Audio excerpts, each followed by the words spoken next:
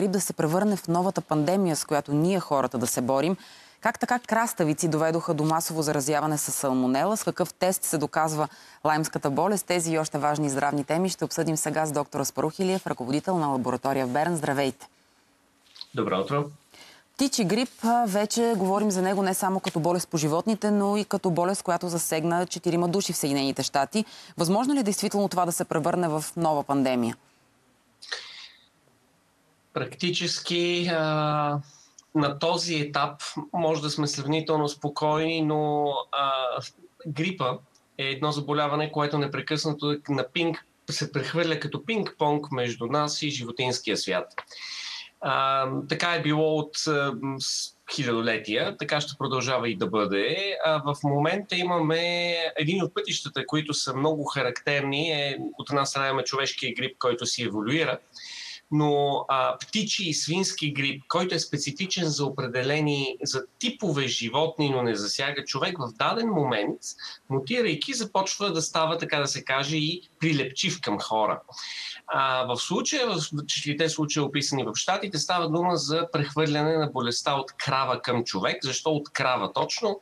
А, кравите и особено вимето имат а, богатство на условия на така наречената ни ключа и ключалката, които винаги сме говорили за вирусите и инфекциите, са много благоприятни там, така че в млякото и в вимето може да има голямо количество вируси.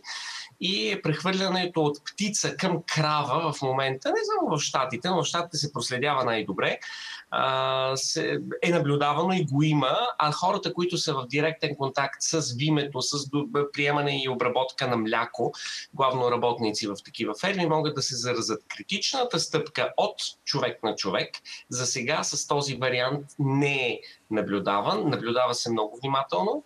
А, защо толкова ни вълнува, ако е най-обикновен грип, който просто ще премине от човек на човек и няма да има никакви последици или ще е една лека инфекция, не би трябвало да се притесняваме. Проблемът е, че винаги до момента, откакто водиме статистиката птичия грип, именно този, този тип заболяване, грипно заболяване, което е по птиците, когато премине трайно към човека, и това се е случвало няколко пъти в миналото, е особено опасен с висока смъртност на този етап може да сме спокойни, защото се наблюдава, но тук трябва да имаме едно нещо на ум.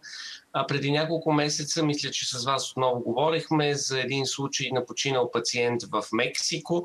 Там не беше H5N1, а H5N2, един вариант на птичия грип, който е малко по-различен а, който беше заразил човек. Това само по себе си беше пак инцидентен случай, но показва, че вируса мутира в различните региони, в Мексико и в Штатите. А, има различни варианти, които в момента се наблюдават, а в момента почти има много голяма епидемия между птиците в цял свят с засягане на много птици, птичи популации с този вариант на вируса. За сега опасността е ниска, но една внезапна мутация може да го направи опасен, но това е вечен проблем. Това не е нещо, което ние трябва да се притесняваме сега специфично. Това е естествена динамика на вируса. От начина по който тези души, поне които знаем, че са се заразили с този птичи грип, боледуват, как се боледува птичия грип? Какви са неговите симптоми? И има ли повод да се притеснявам, освен за тази смъртност, за която вие казахте преди малко? Като цяло протичането е като всяко грипно заболяване. Да, има описан случай сега с конюнктивит, но това не бива да бъде а, всеки конюнктивит да се подозира птичи грип. Даже вероятността да имаме изобщо симптоматиката на грипните заболявания е с рязко а, покачване на температурата, а, с, суха кашлица. Температурата може да достигне до 40 градуса, с обща разбитост, болки по стави и мускули.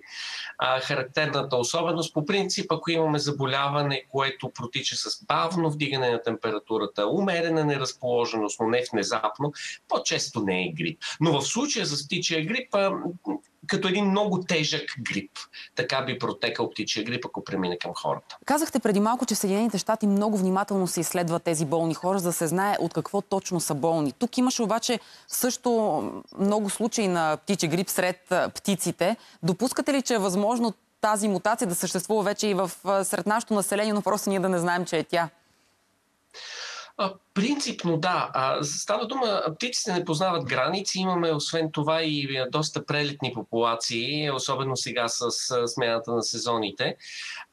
Разбира се, той е разпространен в целия свят и е много възможно да го има и в нашите региони. Отново, примерите в Штатите показват, че имаме, имаме 4 случая в една държава с население над 350 милиона, колкото е цяла Европа. Така че това показва, че вируса на този етап е много трудно преносим към човек. А, дори да имаме в птиците около нас, да, хубаво е по принцип, когато имаме болни животни, особено не, не говоря за домашни животни, да сме много предпазливи. А, болни животни, които са видимо в недобро състояние, разбира се, винаги е хубаво да помагаме, когато можем, но винаги използвайте ръкавици или внимателно и хубаво измивайте ръце след това, а, за да не се извърши прехвърляне не само на птичи грип, а на всякакви други инфекции от животни към хора. За един друг стряскащ случай споделиха здравните власти в Съединените щати. Масово разпространение на салмонела. 450 случая, ако не се лъжа, след консумация на краставица. Тук сме свикнали, когато говорим за салмонела, да е след като сме консумирали яйца, майонеза или нещо сходно. Как си обяснявате този конкретен случай? А, всъщност много логично а, салмонелата се пренася основно през че замърсяване с изпражнения от животни, най-често птици, а, и се пренася върху хранителни продукти, недобре измити. А, да речеме при птиците и чрез яйцата и по-нататък майонеза а, може да се извърши по класическия начин, както сме свикнали. Достатъчно обаче в сълскостопански райони, в които има а, а, всякаква форма, не само краставици, всякаква форма на зеленчуци, които или се напояват с замърсена вода, или по някакъв начин птиците прелитат, а, и по един или друг начин се замърсява при, при а, а, отделяне на изпражнения се замърсяват хранителните продукти и после не се измиват добре. Ключът тук е да имаме а, едно много хубаво измиване на всякакви плодове и зеленчуци.